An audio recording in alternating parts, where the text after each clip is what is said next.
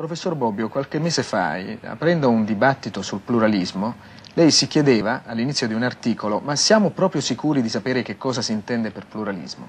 Che cosa intende lei per pluralismo? Per pluralismo si intende, non io intende, si intende uh, un modello di società, cioè quel modello di società in cui esistono più gruppi di potere anche in contrasto fra di loro e il potere è distribuito fra i gruppi, in modo da evitare l'eccessiva concentrazione del potere, in base al principio che è bene che il potere controlli il potere. Lei ricorda altri dibattiti intorno al pluralismo nella nostra storia recente, la storia dell'Italia repubblicana? Sì, il, il, dibattito, il primo dibattito intorno al pluralismo nacque alla Costituente, eh, a proposito della discussione dell'articolo 2 della nostra Costituzione, quell'articolo in cui si dice che l'individuo deve essere protetto non soltanto in quanto tale, ma anche nell'ambito delle formazioni sociali di cui fa parte.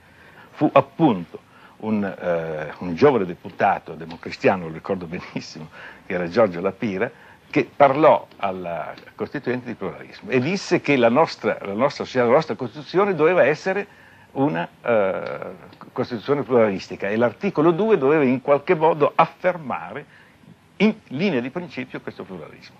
Senta, che cosa giustifica secondo lei l'uso e l'abuso? Qualcuno sottolinea anche l'abuso che si sta facendo del termine pluralismo?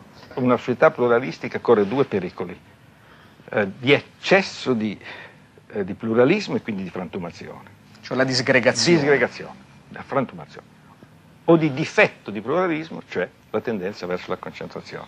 Quindi eh, una società pluralistica deve essere una società continuamente in equilibrio fra il, il pericolo dell'anarchia da un lato in basso e il pericolo del potere monocratico, come si dice, verso l'alto.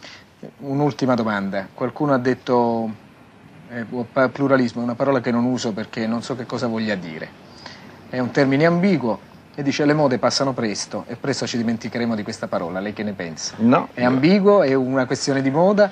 No, io non credo affatto. Siccome abbiamo detto che la società italiana è una società pluralistica, io credo che il problema del pluralismo è uno dei problemi di fondo della nostra società.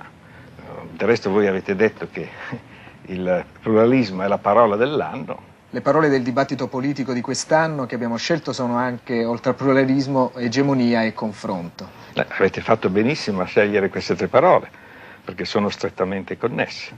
Da un lato c'è una discussione in corso sul rapporto fra egemonia e pluralismo, dall'altro il confronto. E il confronto non può avvenire se non in una società pluralistica.